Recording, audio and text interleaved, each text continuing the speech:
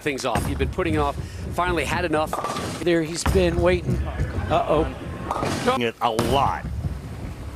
Like he normally does. Didn't like it. Oh, Jesus, Thomas. This